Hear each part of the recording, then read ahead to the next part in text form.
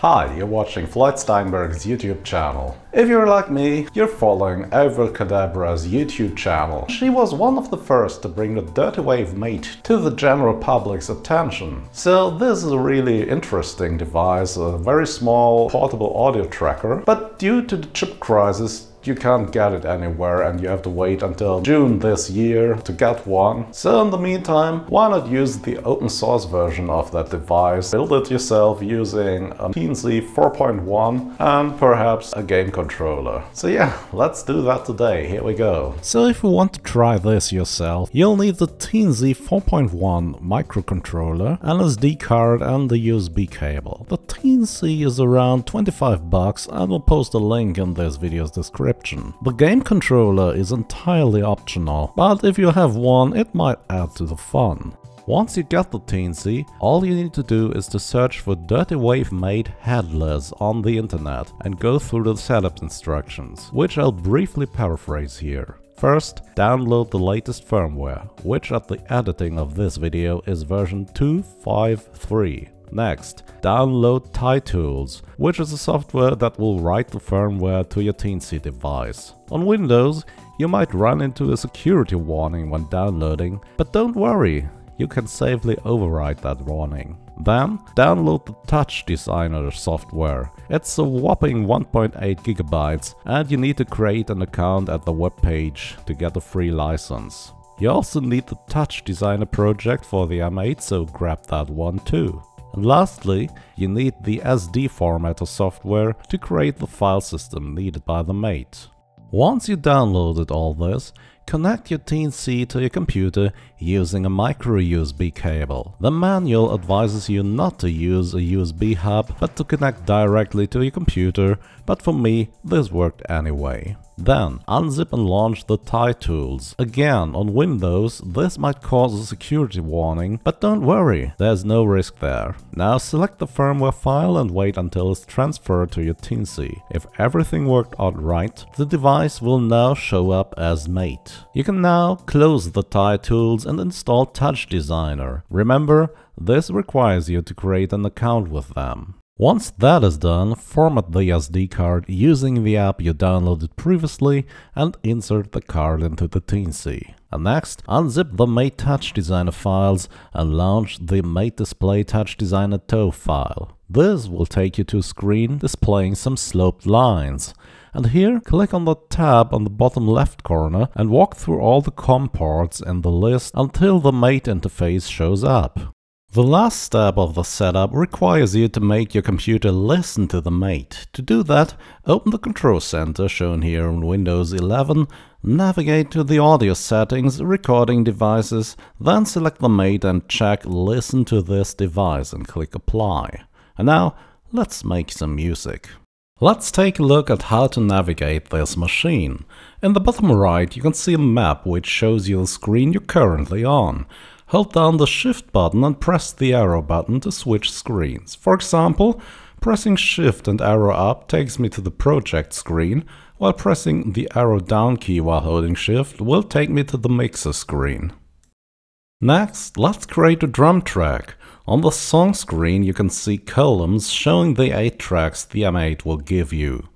Press Shift and right to go to the chain screen and then press X to create a phrase.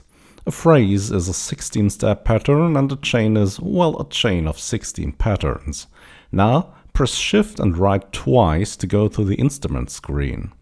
Here, select the sampler instrument by holding X and pressing right multiple times until Type reads Sampler. I've copied some samples to my SD card, so I can now move the cursor down and press X to load a bass drum sample. Now press Shift and left to return to the phrase screen and press X to answer the bass drum sound, and then move the cursor down and add more bass drum sounds into your pattern. Pressing space will start and stop playback.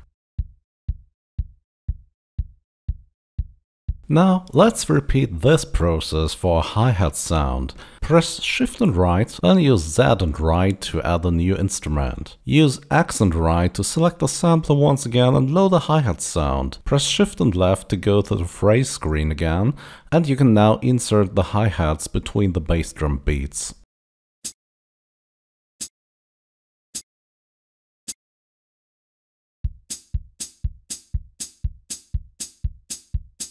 Now let's add rhythm guitar. Return to the song screen. We will now insert our phrases into the song. Move the cursor to the first column and press X and then move the cursor to the second column and hold X and press right. Now the first phrase will play on track 1 and the second phrase will play on track 2. Go to the phrase screen and hold X and press right, so we can now edit phrase 01. Return to the instrument screen, create another sampler instrument and load a guitar sample, and then insert some notes into the phrase. In order to simulate guitar strumming, I will add a delay effect to the notes on beat 2 and 4 by using the FX1 column and selecting delay there. Nice. Now go back to the song screen and start playback to hear instrument in context.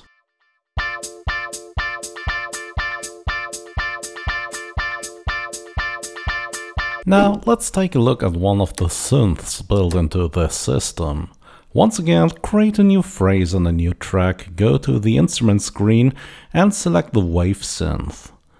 This is a subtractive synth, let's create a bass sound using a pulse wave, a low pass filter with resonance and some LFO stuff. And if you go to the envelope screen by pressing shift and up, you can edit the amp envelope. We can also polish the sound with chorus, reverb and delay effects.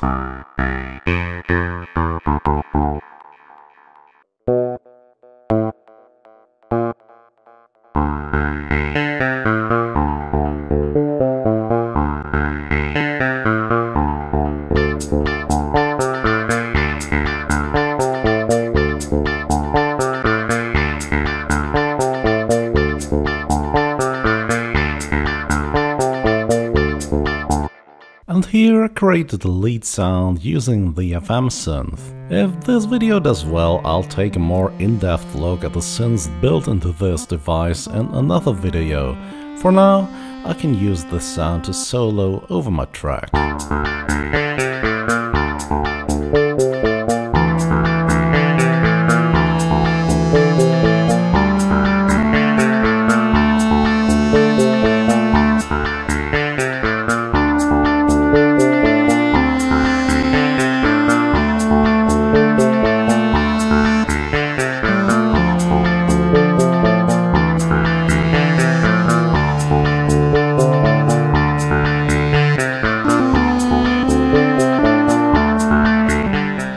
And that's it for today. I hope you found this interesting and useful.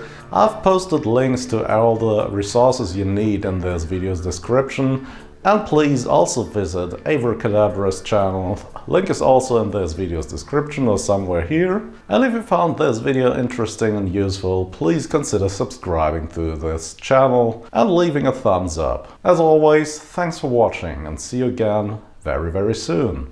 Bye bye. Koalas.